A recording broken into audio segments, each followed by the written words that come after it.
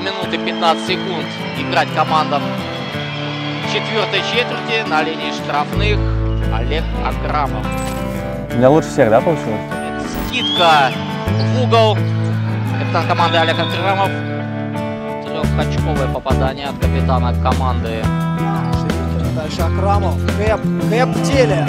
Первую четверти открыл лицевой счет своим броском с дальней дистанции. И третий продолжает. В баскетбол я пришел случайно, вообще это благодаря дедушке, потому что, как и любой парнишка в мое время, когда я начинал подходить, это был 2009 год, э, после успешных выступлений нашей сборной России по футболу, я думаю, каждый парень хотел попробовать себя именно в этой сфере. И понятно, что мое первое желание было пойти именно в футбол. Самый массовый вид спорта не только в России, но и в мире, но, как мне сказал мой дедушка, в России футбола нету и никогда не будет, поэтому Мое второе желание был уже волейбол, но так как город, из которого я родом, это из Ногинска, нету условий для тренировки, а в нашем городе женская баскетбольная команда «Спартак», которая имеет хороший зал, хорошие условия, поэтому вот решили пойти в баскетбол, потому что есть предрасположенность по росту, потому что отец высокий, думали, что это пригодится.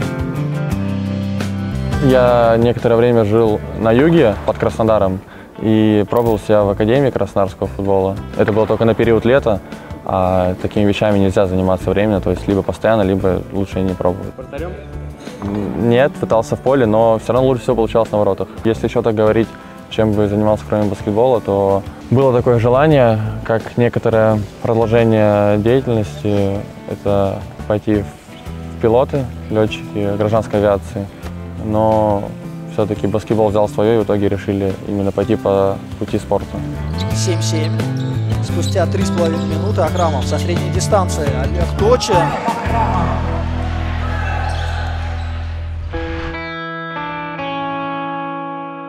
Один мой знакомый тренер а, сказал, что сегодня ты чемпион, а завтра ты уже никто. Поэтому я считаю, что после побед надо не отдыхать, а начинать работать еще удвоенной силы, потому что в любом случае залезть, как говорится, на Олимп легко, а вот удержаться на нем вдвойне сложнее. После поражений нужно, самое главное, дождаться того момента, когда ты будешь анализировать с холодной головой и уже расчетливо сделать выводы, которые не будут а, контрастировать с тем, что ты говорил прямо после игры.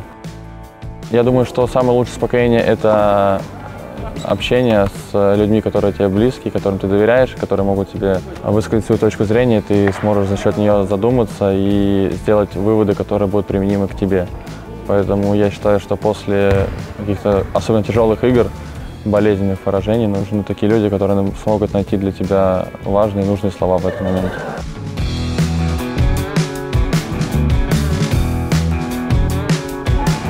Ну, я думаю, в первую очередь, это, конечно, физические кондиции потому что именно, я думаю, именно это а, в большинстве своем определяет тебя как игрока какого-то уровня, потому что ты не можешь играть там а, с физически сильными игроками, без контакта, без давления на высоком уровне. Ну и все равно я думаю, что рыба гниет с головы, поэтому очень важно это иметь не только физическое превосходство, но и ментальное над, ну, над противником, над соперником. Поэтому вот эти два качества, которые, думаю, можно, ну, нужно развивать в первую очередь. Играть в нападение Именно поэтому столько матчей товарищеских они и провели. Браво! Капитан команды берет на себя инициативу. Но кто, как не он, должен в самом начале первые очки в этом сезоне для ЦСКА набрать. Конечно, как и любой подросток, тем более в 21 веке, я использую соцсети, но стараюсь как можно ну, меньше ими пользоваться, потому что все равно приходится фильтровать тот поток информации, который там есть и не засорять голову лишней информацией, которая не нужна в данный момент конкретный. Поэтому стараюсь ограничиваться и больше там э, переключаться на книги, на какую-то научную литературу. А, интересуюсь историей, а также все э, технологии, там, машины и ну, стараюсь быть во всем как бы развит, потому что, чтобы быть интересным собеседником.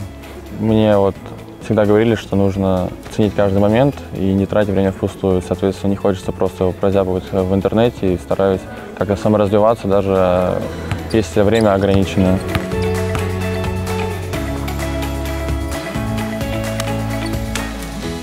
А, кино смотрю не часто, но вот, вот сейчас вот летом поставил себе цель, посоветовали посмотреть э, «Рокки».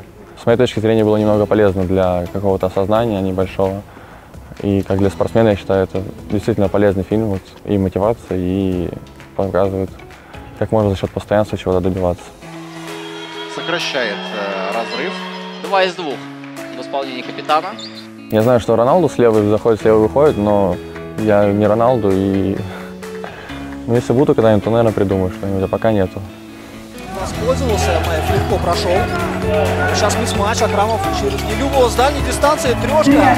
В прошлом матче также Акрамов начал лицевой счет для своей команды.